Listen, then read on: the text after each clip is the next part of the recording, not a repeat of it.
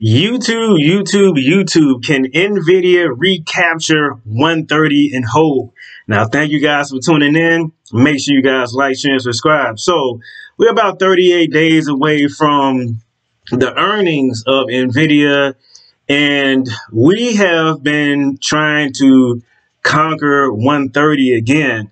Now, you can see today we tried to break through 130. We got rejected and then came down to 127.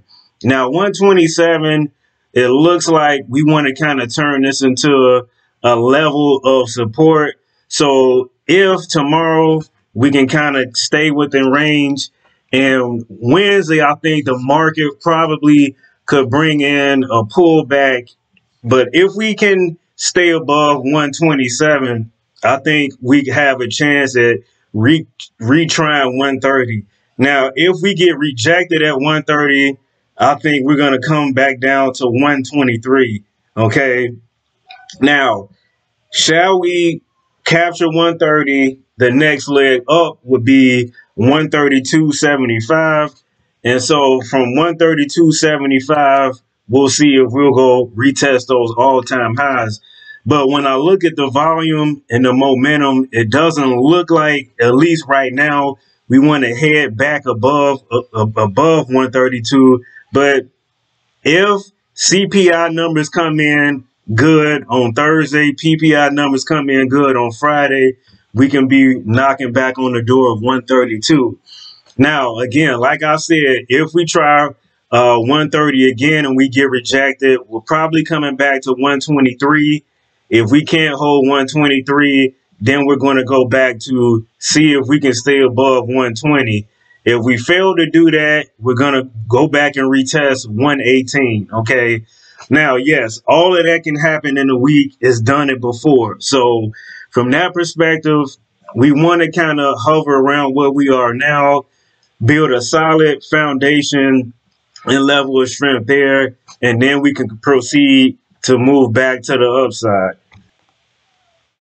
Now, as you can see here, the next big tech milestone is going to be $4 trillion. And if I had to pick a stock that would get to a $4 trillion uh, first, I would bet that it's probably going to be NVIDIA. Now, in order for us to get to $4 trillion, honestly, I don't think it's going to take much. I think just the hype of having so many positive earnings in a row. If we have another positive earnings, guess what? This thing is going higher. Okay. At that point, if if earnings come in good again, they outdo what the estimates are. We're going above 140. Okay. Now, after 140, we'll, we'd be looking at 145 and then 150. Okay. So from that perspective, I would say that Nvidia has one of the best shots of getting to four trillion dollars first. Now, I know Apple has been on a run.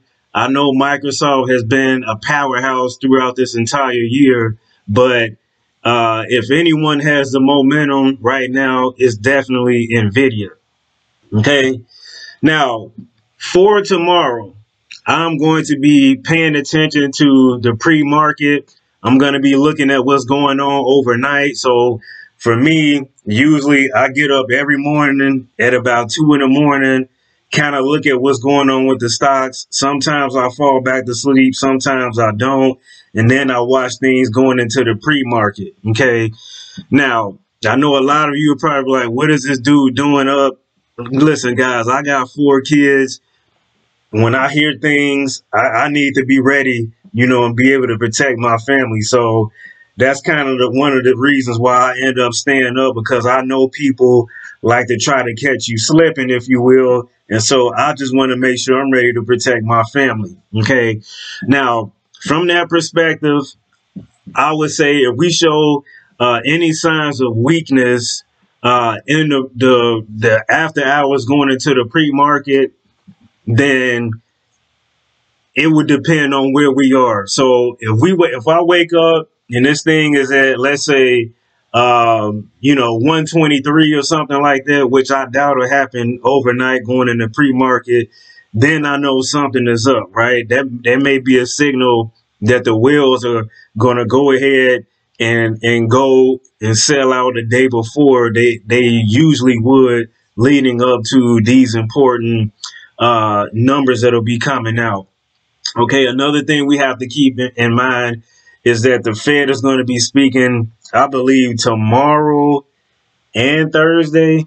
So we'll have to keep our eye on that as well. So let me just go to the economic calendar to uh, just confirm that. So let's go to economic calendar. There we go, economic calendar, and then we are going to see what's going on. Come on. Economic calendar. So the Fed is speaking. Well, it looks like he spoke today. Well, no, he's speaking tomorrow. Okay, at 10 a.m. What he says could have an impact, and then he's speaking on Wednesday. Um, and then we've got the St. Louis Fed and then Atlanta Fed speaking on Thursday. Guys, this is going to be a volatile week. Uh, it's going to be very volatile. So one way or another, this market is going to move, rather be to the upside. If you're going to be trading this week, uh, like I always say, make sure you're using your stop losses or have some sort of strategy to hedge against the positions you have if you're going to be in these positions short term. Okay. Now, I appreciate you guys. Make sure you guys like, share, and subscribe. And we're out, guys. Peace.